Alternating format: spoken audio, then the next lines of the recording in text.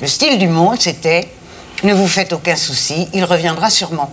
Alors que si moi j'écrivais il va te rappliquer, t'inquiète, ça tapait.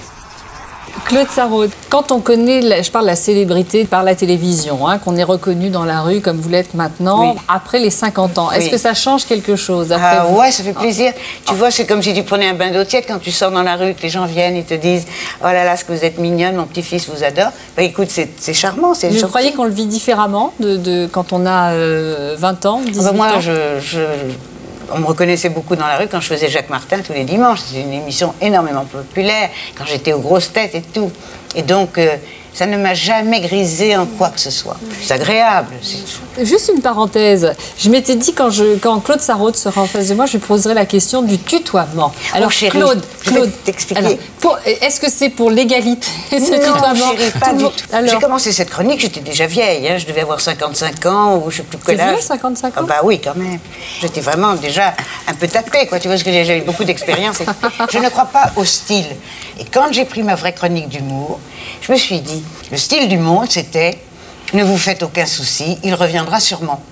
Alors que si moi j'écrivais il va te rappliquer, t'inquiète, ça tapait.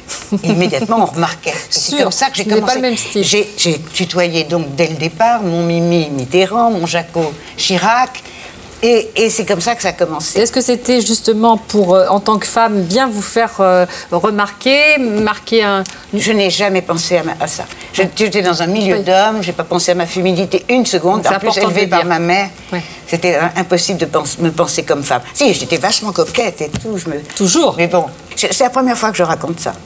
Je dis toujours, bah, c'est parce que je suis plus vieille que tout le monde, alors je peux tutoyer. Ou bien je dis, c'est parce que j'ai été élevée. Euh, l'anglais était ma première langue, alors il n'y a pas de tu et de vous. Mais non, c'est ça. C'est ça qui a commencé. J'ai compris que, que, ça tapait plus fort. Puis après, ça, comme, comme tous les jours, il fallait faire la chronique. J'ai commencé à prendre l'habitude de le faire à la ville aussi. Mais je ne le ferai jamais avec quelqu'un de plus vieux que moi. Il n'y en a plus tellement, mais quand j'en rencontre, je, je, me garde Est-ce que vous dites votre âge, Claude? Bien sûr. Vous avez quel âge? Je suis dans ma 75e année. Bravo. Et alors l'année prochaine, je vais entrer dans ma 76e. Et là, j'ai un petit peu de. Parce que alors là, dis donc, 76, ça fait 80 déjà.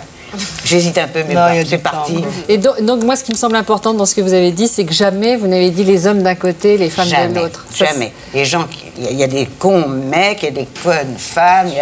Elles sont absolument, je ne suis pas d'accord du tout. Surtout alors, maintenant. alors que vous êtes battue, vous aussi, aux ah, côtés des femmes oh, énormément. beaucoup, beaucoup, beaucoup, mais sans le ressentir pour vous-même. Non, sans le ressentir. Je dois dire que je n'ai jamais été victime d'une ségrégation euh, sur ce, sur ce plan-là, en tant que femme. Euh, dans les endroits où j'ai travaillé. Pas du tout, pas du tout. Vous pensez que vous étiez dans un endroit privilégié, peut-être? Peut-être. D'être déjà journaliste comme ça, très tôt, très jeune, dans un journal comme Le Monde, c'est Oui, mais j'en ai bavé au début, parce que vois-tu, je voulais être actrice. Alors, ah bon? Mais oui, j'étais actrice pendant deux ans. Deux, ans. J'avais un truc épouvantable, je parlais faux. Alors j'ai pu tenir comme ça pendant deux ans, et puis après ça, euh, pour des, raisons personnelles, parce que j'adorais les fringues, j'avais terriblement envie d'un manteau, et mon mari de l'époque, à qui je, tannais toute la journée, je t'as un beau manteau, tu sais, Faubourg Saint-Honoré et tout. Il m'a dit, écoute, tu m'emmerdes avec ça, si tu en as tellement besoin, ben, descends dans la rue et gagne-le. Et là, j'ai compris mon malheur, parce qu'en fait, il m'entretenait, donc je, je me suis dit, il faut que je me mette à travailler, et je me suis lancée dans le journalisme. Mais à mes débuts, c'est certain, on était deux, trois femmes au journal. On m'a collé, comme j'avais été voulu faire comédienne, on m'a mis à la ligne programme. Je suis restée des années à la ligne programme. Théâtre du gymnase, 21h, j'y suis, j'y reste. Théâtre de la Bruyère, 20h30. Euh, un cauchemar. Terrible. Ils m'ont laissé là pendant des années. Donc c'était le choix ou être femme entretenue ou travailler Ou travailler. Pour s'en sortir. Et de la façon la plus modeste. J'avais vraiment.